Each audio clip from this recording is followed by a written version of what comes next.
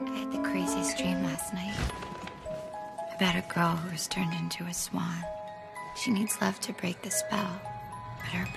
Hola, ¿qué tal amigos? Bienvenidos a este su canal Psique en Equilibrio. Mi nombre es Carlos y el día de hoy voy a estar realizando una labor que ya tenía muchísimo tiempo deseando empezar a hacer, el análisis psicológico de la película El Cisne Negro, esta afamada cinta del director Darren Aronofsky, el cual tiene ya 10 años de haber salido a las pantallas y es un thriller psicológico bastante espectacular que me gustaría irles compartiendo y lo iremos desmenuzando poco a poco para entender los perfiles de cada uno de nuestros personajes y el trasfondo y detonante y resultado de la historia.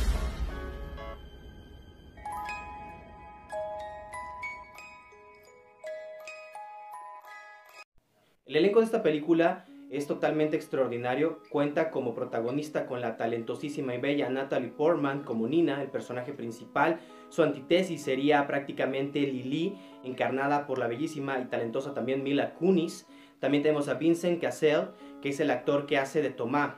este maestro exigente, acosador y que refleja perfectamente eh, las frivolidades del mundo que trata Aronofsky de reflejarnos. Y por supuesto, su madre, Barbara Hershey, la actriz que da ese papel vida y lo hace de manera extraordinaria. Para poder empezar el análisis voy a contarte un poquito acerca de la reseña de esta película muy en concreto. Realmente no es la intención de este video, sino más bien analizar el trasfondo psicológico de la película y sus personajes. Aquí es muy importante comentarte que hay una importante alerta de spoiler. Por lo tanto, si no has visto la película y te gustaría primero verla antes de ver el análisis para que no te digan qué es lo que va a pasar, pues te invito a que la veas y luego regreses, no se te va a olvidar regresar. O bien si quieres verlo primero, si te antojará más la película, probablemente te puedo asegurar que la vas a querer ver.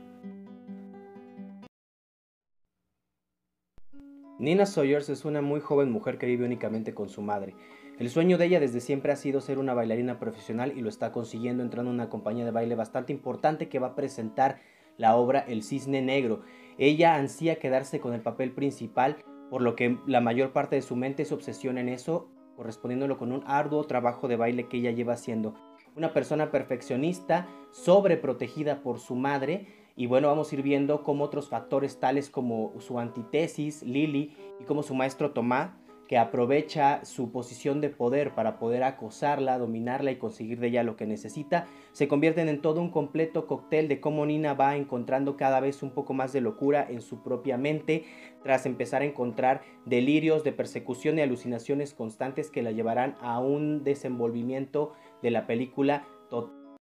La película nos va narrando cómo la vida de Nina llega en un momento a un punto de inflexión Quiere decir que llega un momento en el que tantas variables diferentes empiezan a saturarla mental y emocionalmente de una manera devastadora.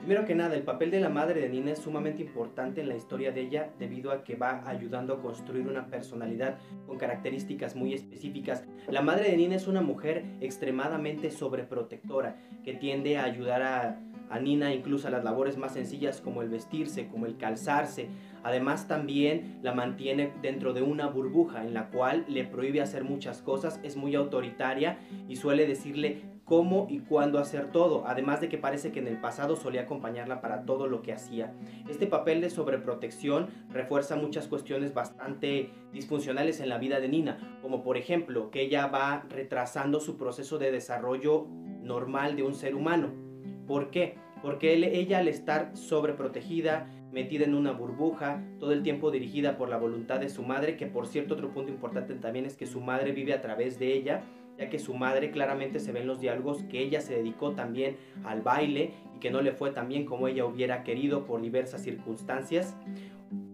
Tales como que la madre cuando era parte de este cuerpo de baile probablemente fue embarazada por su profesor, y de alguna manera este embarazo no le permitió continuar con su sueño, entonces ella vive viviendo su sueño no realizado a través de su hija, una cuestión que es algo bastante común en este tipo de circunstancias también.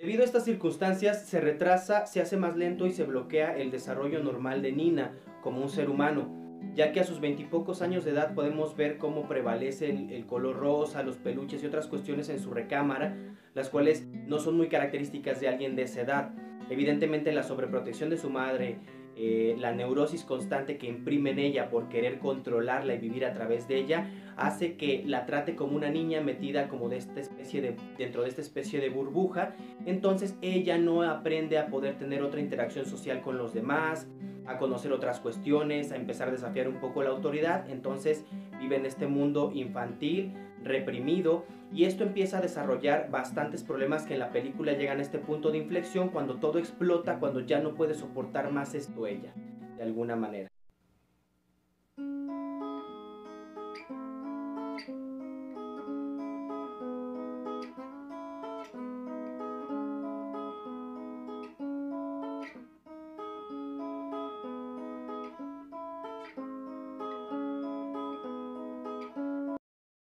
Personalidad Nina cuenta con una cantidad de neurosis bastante grande, la cual se ve muy resaltada en este ideal distorsionado que tiene ella de alcanzar una perfección totalmente inalcanzable. Por lo tanto, llega a tener rasgos obsesivos y compulsivos para llegar a alcanzar esta dicha perfección. Esto la lleva a tener conductas claramente autodestructivas como no cuidar su integridad física debido a que ni siquiera se alimenta bien, es algo que vemos en la película, además de entrenar de una manera rigurosa, exagerada, por encima de su aguante corporal. Además también termina convirtiendo esta ilusión y esta pasión por, por el baile, por el ballet, lo termina convirtiendo en su propia cárcel y en su propio verdugo, ya que para ella nunca va a ser suficiente hasta alcanzar dicha perfección que es un ideal totalmente difuso. Además, esto la lleva a ser una persona con una muy pobre inteligencia emocional en el punto de saber cuándo parar, cómo relacionarse con los demás, cómo poner alto a ciertas circunstancias que la ponen en peligro.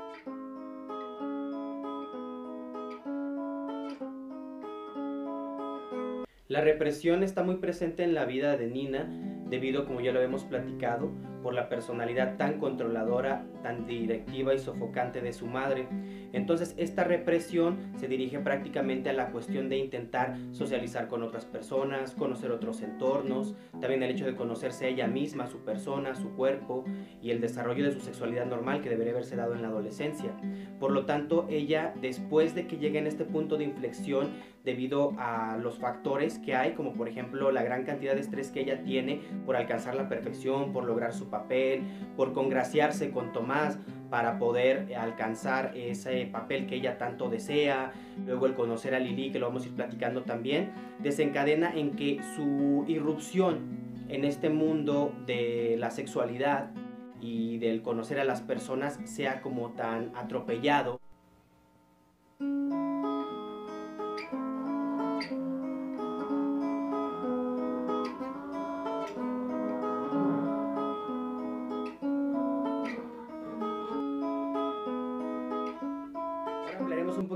respecto a este personaje tan importante, Tomás. Viene siendo el director del cuerpo de baile. Este personaje es muy importante porque viene, fíjense bien, a reforzar las patologías con las que Nina ya venía cargando. Es decir, si ella toda su vida había estado acostumbrada a estar dominada, dirigida y controlada por su madre, ahora en este momento que ella quería alcanzar la perfección en esta misión suya que era encontrar el éxito en el ballet, precisamente en esta obra, pues ahora termina siendo y prestándose a ser controlada, dominada y manipulada por Tomás,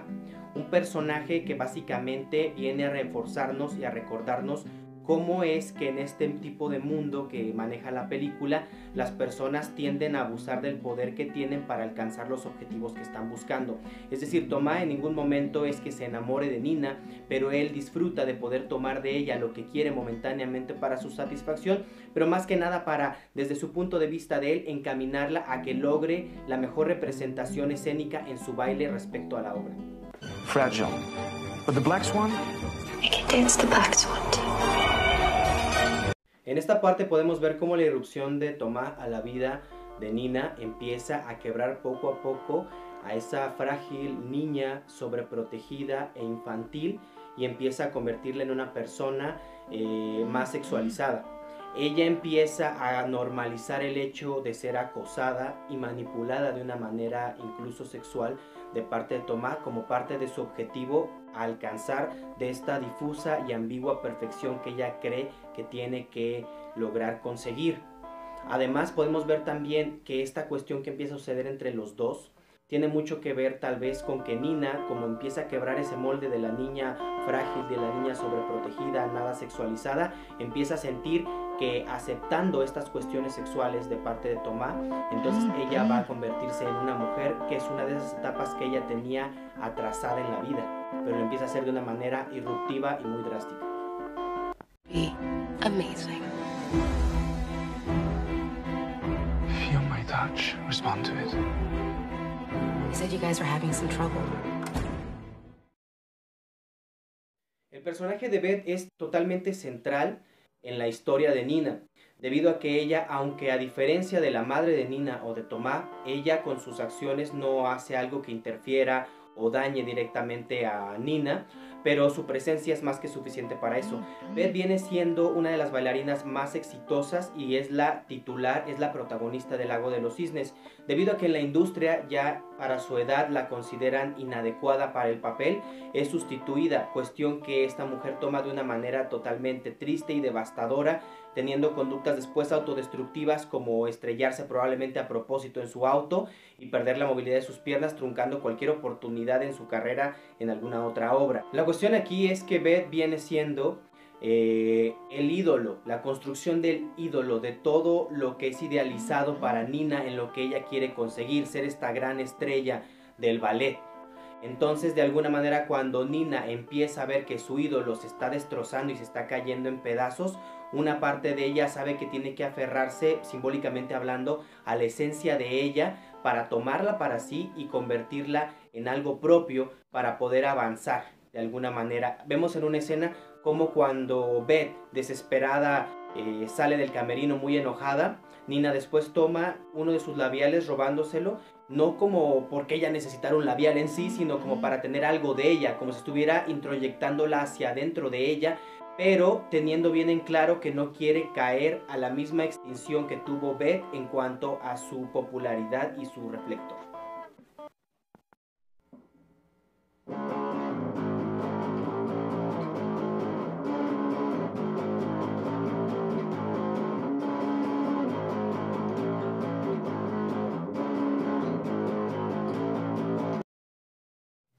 Nina obtiene el papel de la protagonista del Lago de los Cisnes y de alguna manera ahí es cuando empieza a disociarse más visiblemente la personalidad de ella. Por un lado, la Nina que quiere resistirse a crecer, que es la que tiene miedo, que es la que está sobreprotegida, que es la que llora, y la otra parte de la personalidad de ella que se ve simbolizada por el cisne negro, la personalidad arrebatada, sexualizada, que toma lo que necesita de los demás y los introyecta hacia su ser.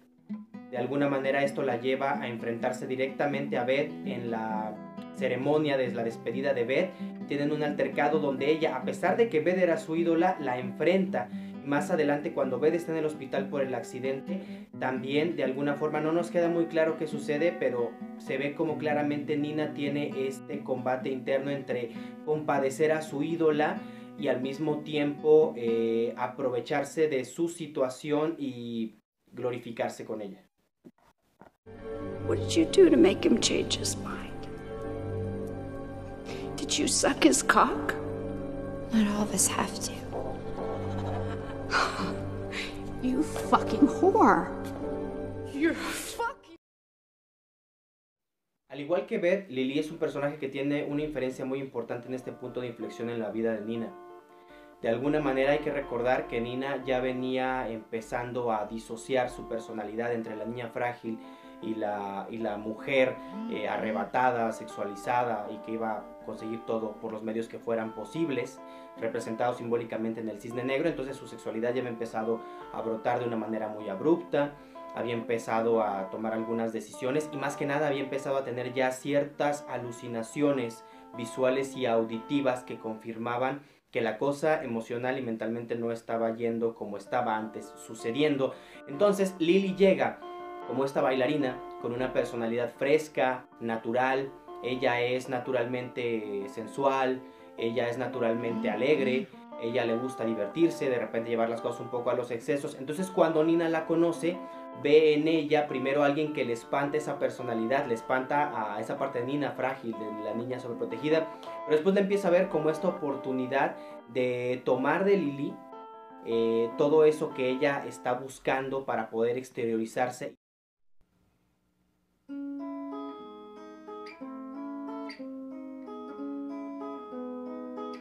Lily se vuelve al mismo tiempo su amiga y al mismo tiempo su rival y al mismo tiempo en quien una parte de ella quiere convertirse por la libertad y el poder que siente en ella, cuando Lily solamente es naturalmente como es. Toda esta relación de amistad las lleva a, a Nina por primera vez a experimentar lo que es salir, conocer otras personas, incluso beber, probablemente se ve que también consume drogas. Llega un momento en la película donde está besándose y teniendo una interacción más cercana con otra persona en el baño para después posteriormente terminar llegando a su casa y tener un encuentro sexual con Lily. Una cuestión muy importante de la película, porque ahí se ve cómo Nina desafía la autoridad de la madre, se libera de ese yugo, pero de una manera, eh, digamos, no natural, sino de una manera abrupta. Y al mismo tiempo, cuando tiene este encuentro sexual con Lily, después ella descubre que esto fue solamente una fantasía que ella tuvo. Realmente eso no sucedió pero en su imaginación, en su mente, eso fue un momento muy importante donde ella simbólicamente es como si absorbiera a Lily dentro de ella, la, esa parte del.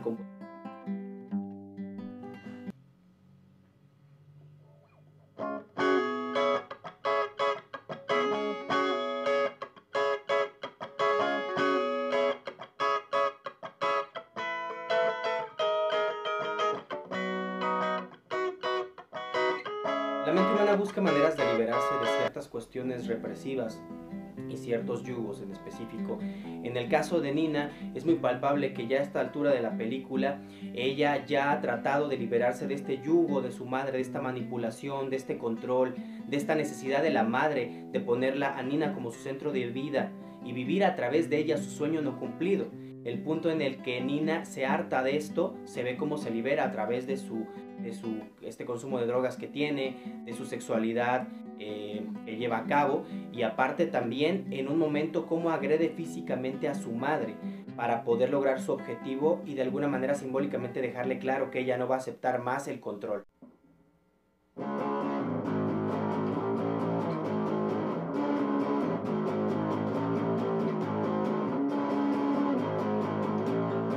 La mente también busca formas de poder protegerse de las cosas con las que no puede lidiar, con las cosas que no quiere saber uno de uno mismo, de alguna manera de esta disociación que hablamos, el cisne blanco y el cisne negro simbólicamente hablando. Llega un punto en que las alucinaciones y los delirios de persecución empiezan a ser presa de la estabilidad mental y emocional de Nina. What's she doing here? She's after me. Incluso hasta llegar a un punto autodestructivo.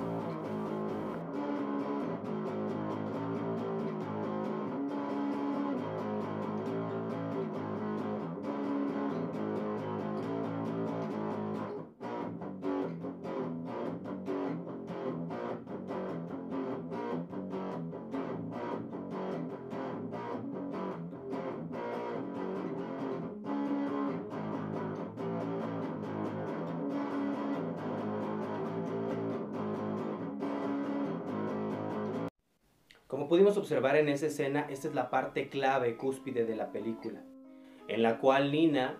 tiene la necesidad de atacar a ese representante del cisne negro en su camerino, el cual primero lo ve como Lily, pero después Lily se convierte en ella misma desde su óptica de este delirio tan profundo en el que ella está metida en ese momento,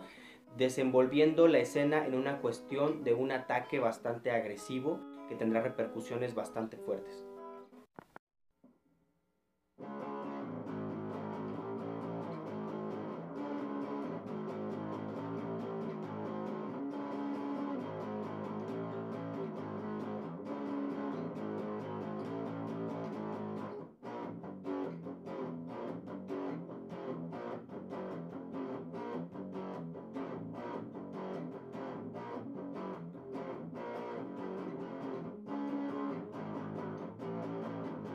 Como consecuencia de este delirio tan profundo en el que Nina estuvo sumergida cuando se atacó simbólicamente y literalmente a sí misma, consistente en esta psicosis ya tan permanente en ella de unos días atrás, eh, tiene un momento de lucidez en el que ella se da cuenta cómo se lastimó gravemente a ella misma y entra en un momento en el cual siente tristeza y siente mucho miedo respecto a eso. Pero inmediatamente toma control de ella este pensamiento idealizado, obsesivo y delirante de seguir buscando la perfección y la consumación de todo este proyecto tan importante para ella como en la cúspide de terminar la obra. Se puede ver al final como Nina sube en lo más grande en este momento eh, totalmente destellante y termina rendida, cayendo, consiguiendo desde su punto de vista eh, delirante la perfección, pero desde un punto de vista real el mayor grado de autodestrucción a su persona.